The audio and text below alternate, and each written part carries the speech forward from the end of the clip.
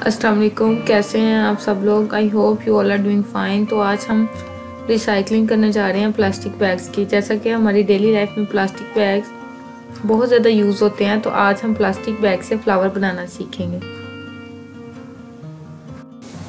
So as you know there are different types of flowers which we make with plastic bags लेकिन आज हम एक ही flower जो है बनाना सीखेंगे, जो कि बहुत ज़्यादा ईजी है इसको बनाना। So let start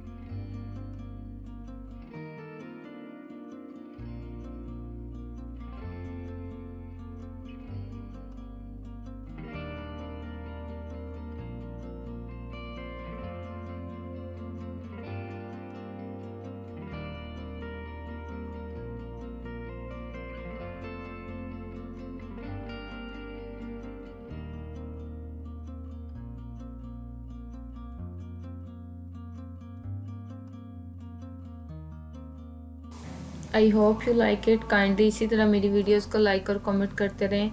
I need more and more subscribers thank you so much for watching my videos अल्लाह हाफिज़